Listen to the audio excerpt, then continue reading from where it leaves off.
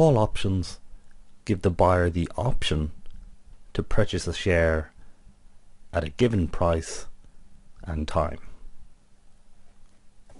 This is known as a European option, to be precise, since there are other kinds. Their value can be determined using the Black-Scholes equation. Excel lets us implement it and see what it is, since it contains the core functions, making it easy. We look at this next. Black-Scholes option pricing can be simply implemented within Excel. It has five parameters. There's the stock price, the time, so this would be half a year, this is 0.5. We have the risk-free interest rate, so that in this case I've just put in 0.1 and we have the strike price.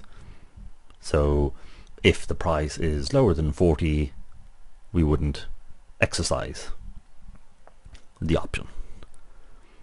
And finally there's sigma the variance so once we have these we can determine the price of a call option. We could also do the put, but I'm just going to do the call here. So all we need to do calculation wise is get D1 and D2. The expression for those are given on web pages and in many books. But we can see what they are here. So D1 is log, natural log, of B3 over E4, so that's S over K. So the share price over the strike price.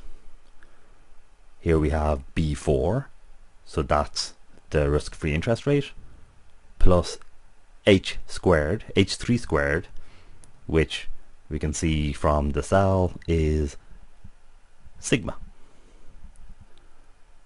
multiplied by E3 which is time. So we just put in that into our cell and it works it out. Nothing complicated there.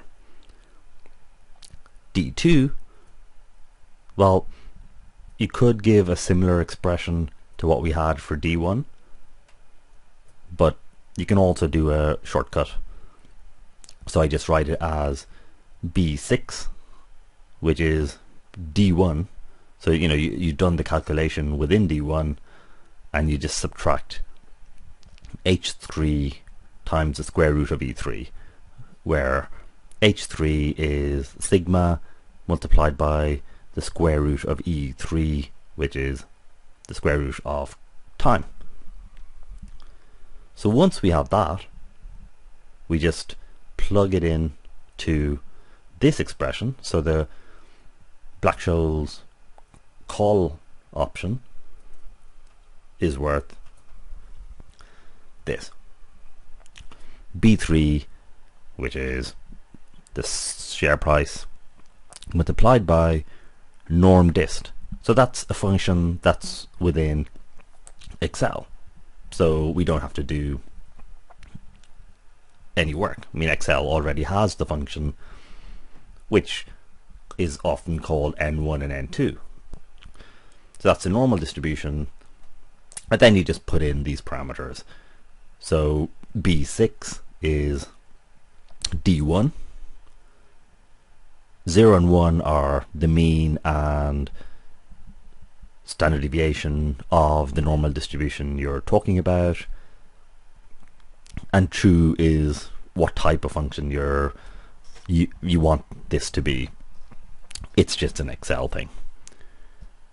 So that's very simple. You can just type that in yourself and you have a way to work out the value of a call option.